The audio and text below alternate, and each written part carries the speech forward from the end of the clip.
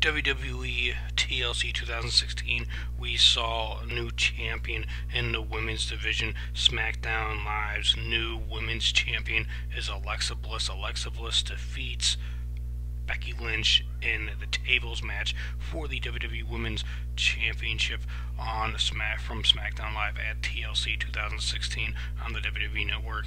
It was an awesome match. Alexa Bliss won it with a power bomb off the apron. Uh, Alexa Bliss was on the mat on the ground.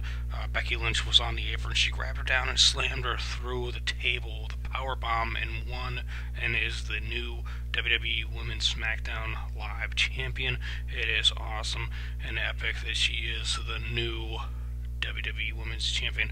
Uh, that was pretty sweet.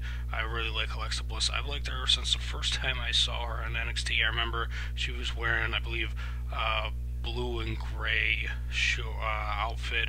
Both the blonde hair, she had glitter, she blew it out and whatnot.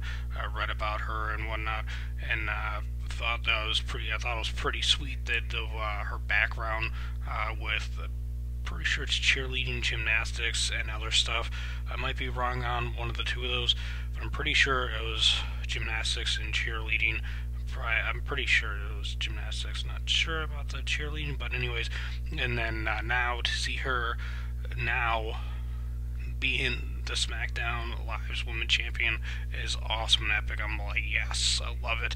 I think she's awesome. I like Alexa. I like uh, you know Becky Lynch a lot, but I like Alexa Bliss a lot more. Like she's wicked awesome. It's really cool. If you like that she's a champ, hit that like button, hit that subscribe button here to subscribe and be amazing. Hit that subscribe button.